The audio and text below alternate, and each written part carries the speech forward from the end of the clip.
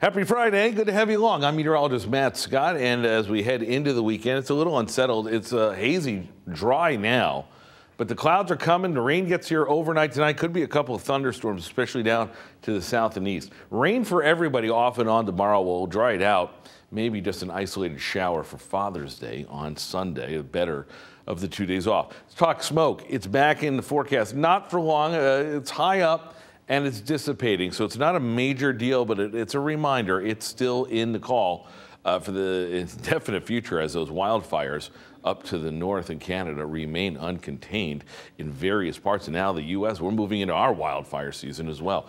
80s where we should be. Temperatures are pretty much close to it, with Saturday being the exception. Wednesday's the start of summer and we start to warm up. We'll talk more about that in the seven day in just a moment.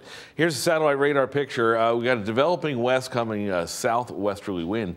To the southwest we go. Lots of thunderstorms, including a tornado warning uh, just over the border uh, outside of Philly. This, and at least that heavy activity, uh, might try to just tag southeastern Connecticut later on today into tonight. That would be it. Behind it, there's nothing, but what we're going to be dealing with is the heart of the storm. You could kind of see, again, like we had on Wednesday, a little rotation there, circular movement. That's going to go through the state. It's not a washout, but it's going to keep rain in the forecast. Rain returns tonight. You'll see that on the guidance, not looking for much in the way of trouble until that comes through. This is what I'm talking about. We'll have to keep an eye on that. And then it's scattered showers and thunderstorms throughout the day. Saturday, diminishing a little bit into the evening hours. Uh, by the time we get Sunday, much drier. Still far from perfect, but we'll take it, especially for Dad's Day. Uh, so that's the deal. This low's got to move. Once it does, we'll finally get an improved forecast, but that I don't think is going to happen for a while, Sunday into Monday and Tuesday. I want to time this out one more time to show you tonight. Big storms, temperatures around 60 degrees. Tomorrow, scattered showers only getting to 70 to the low 70s and then a couple of storms into dinner time. As we go into the rest of the weekend, it's better.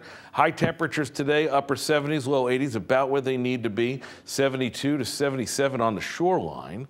80 degrees in Lyme, 79 in the quiet corner, and Hartford gets to 81. Uh, forecast, again, more rain for Saturday. Sunday's drier for Father's Day. Let's get the hammer and nails out. I don't know why this is for Father's Day, but I didn't make the graphic. 60, 70, 74, maybe an isolated shower late in the day. From there, we get to the last days of spring 79, 77, 81 on Wednesday. 10:58 in the morning is when we start summer with the summer solstice. We'll take a quick look at the shoreline. 72 today, 72 tomorrow with the showers. Better chance of rain again, southeastern Connecticut, 78 to high on Sunday. Hey, dads, have a great Father's Day, and everybody else, we'll see you back here Monday morning.